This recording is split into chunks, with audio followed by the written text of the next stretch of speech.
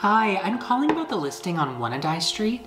The aura can be described as modern evil. In full disclosure, the last four families died in horrifically supernatural ways. I think I can fix him. Are there any overly spiritual activities I should avoid? All of it, really. The house is very sensitive. Candles, Bibles, Ouija boards, and definitely not all three at once. Oh.